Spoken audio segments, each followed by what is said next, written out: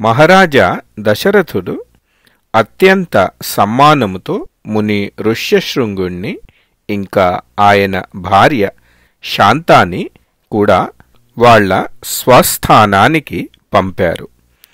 బుద్ధిమంతుడైన మహారాజు దశరథుడు కొంతమంది సేవకులతో కొంచెం దూరము వాళ్ళతో పాటు ప్రయాణము కూడా చేశారు.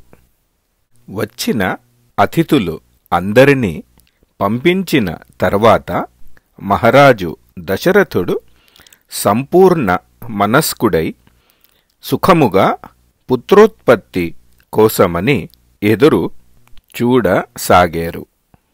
యజ్ఞము సమాప్తము అయిన ఆరు ఋతువులు గడిచాక అంటే పన్నెండు నెలల తర్వాత చైత్ర మాసములో శుక్ల పక్ష నవమి తిథి నాడు.